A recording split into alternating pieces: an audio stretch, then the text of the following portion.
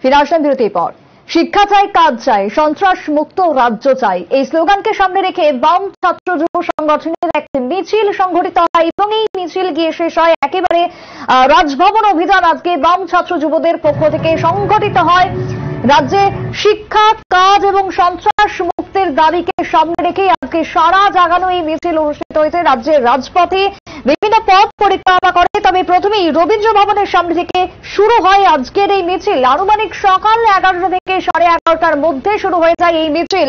পরবর্তী সময় মিছিল সূর্য চৌমোহনী, পোস্ট অফিস চৌমোহনী এবং আর এম এস চৌমোহনী হয়ে একেবারে মহাকরণের দিকে যায় এবং ঠিক সেই জায়গায় ছত্রভঙ্গ অর্থাৎ বামপন্থী ছাত্র যুবক সংগঠনকে ছত্রভঙ্গ করার জন্য পুলিশকে কাঁদানে গ্যাস ছুড়তে হয়। একই সঙ্গে টিয়ার গ্যাস নিক্ষেপ করা, জল কামান নিক্ষেপ করার ছবিও ধরা পড়ছে। এই মুহূর্তে যেমনটা দেখা যাচ্ছে ক্যামেরায় যেখানে শিক্ষা চাই, কাজ চাই এবং সন্ত্রাস মুক্ত রাজ্য চাই, এই স্লোগান, এই দাবিকে সামনে রেখে বামপন্থী ছাত্র যুব সংগঠন, চারটি সংগঠন যেখানে আজকে উপস্থিত রয়েছে, তাদের সকলের আজকের অভিযান ছিল রাজভবন এবং রাজভবনে যাওয়ার পথে পুলিশ তাদের গতিরোধ করে। যদিও নিরাপত্তা ব্যবস্থা বলয় করা হয়েছিল পুলিশের পক্ষ থেকে।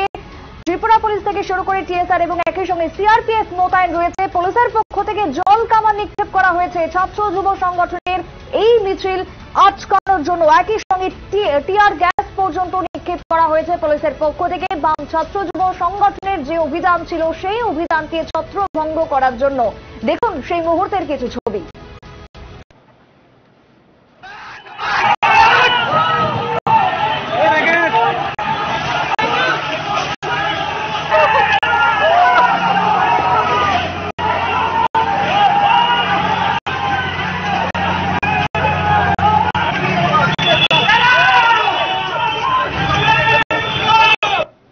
মানুষের সমর্থন নিয়েই আমরা মহাকরণের দিকে যাব সেই কথা বলার জন্যই আমাদের এই অভিযান ছিল।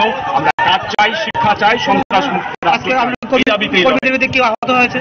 আমাদের এখন পর্যন্ত একজন কমরেড মারাত্মকভাবে আহত হয়েছে তাকে হাসপাতালে পাঠানো হয়েছে। বাকি কারা আহত আছে সেই খবর এখন আমাদের কাছে সরকার নেই। দেখছি। আমাদের একজন কমরেডকে হাসপাতালে পাঠানো পুলিশের ভূমিকা নিয়ে কি বলবেন? পুলিশের ভূমিকা তো নিন্দনীয়। এই দলদাস পুলিশ। আজকে সাধারণ ছাত্র যুবরা কাজ চাইছে শিক্ষা চাইছে সারা রাজ্যের দুর্বিষহ পরিস্থিতি সন্ত্রাস ছড়িয়ে পড়েছে। পুলিশ কিছুই মানুষ যখন রাজপথ দখল করে সেই মানুষ নতুন ইতিহাস রচনা করে। আগামী দিনে আমরা সেই ইতিহাস রচনা করব।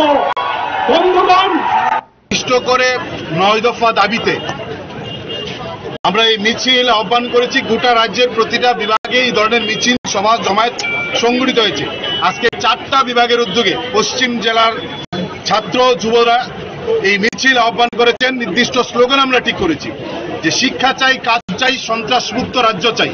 বিজেপির নেতৃত্বে সাড়ে চার বছরে শিক্ষা শেষ, সম্পূর্ণ বেকারদের বিরুদ্ধে সরকার যুদ্ধ ঘোষণা করেছেন।